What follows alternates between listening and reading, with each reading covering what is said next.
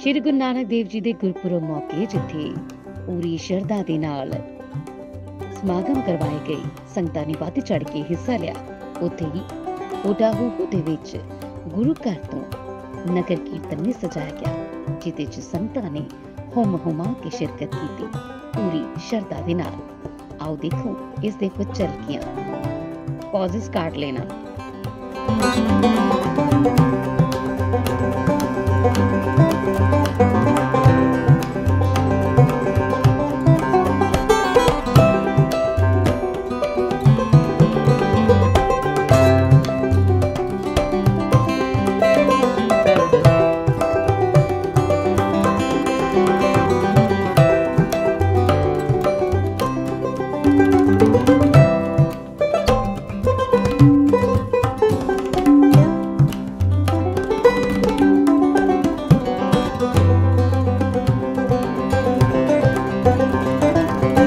Thank you.